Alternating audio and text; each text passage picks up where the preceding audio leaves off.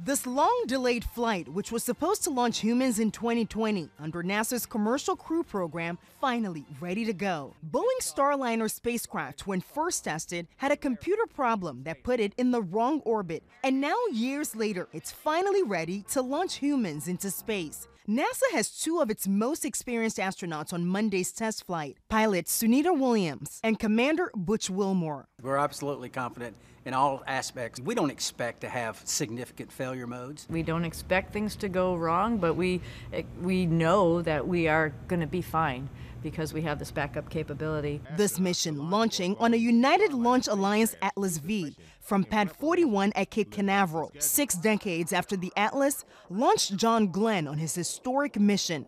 The last human to launch from here, Gordon Cooper on Mercury back in May 1963.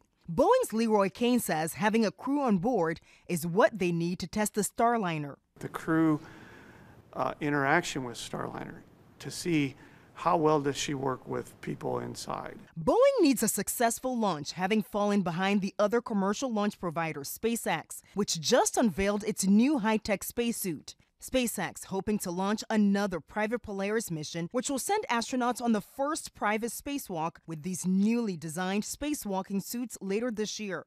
Meantime, the Starliner rocket, now on the launch pad, the crew saying goodbye to their family and friends as the countdown to liftoff begins.